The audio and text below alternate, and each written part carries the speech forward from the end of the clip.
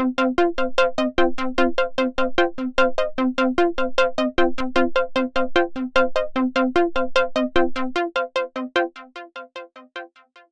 I'm Aaron from St. Joseph's School. Today I have breaking news that Sapphire Systems are moving to the Shard. The Shard is the tallest building in London at over 300 metres high.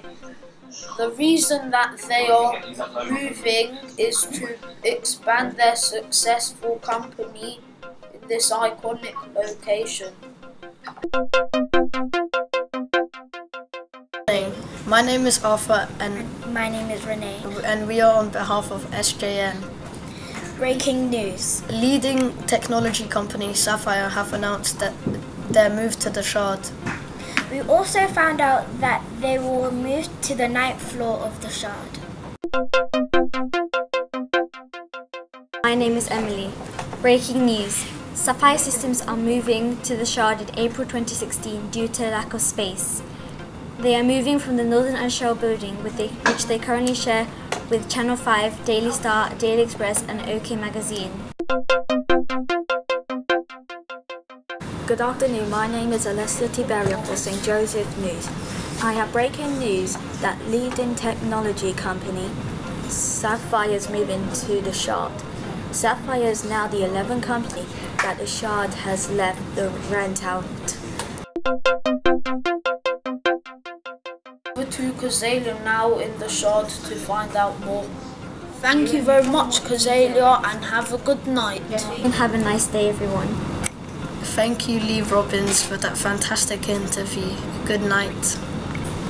Thank you, Leah and Michaela, and good night to everybody. Thank you for listening to our news. Good night. Good night.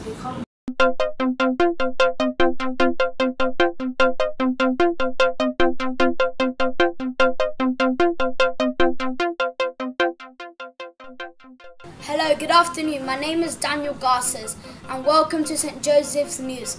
Our breaking news is that Sapphire Systems has been hacked by a suspected man called Stephen Evans.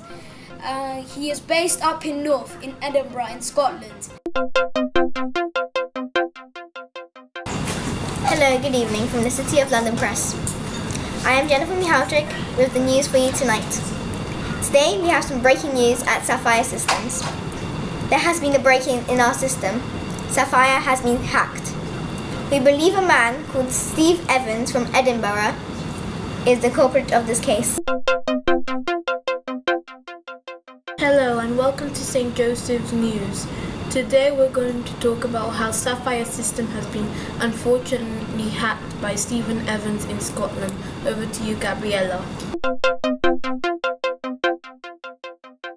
Thank you, Kaya. And this and that was our breaking news for this evening. Bye and thank you for watching us. Thank you for the interview and good night.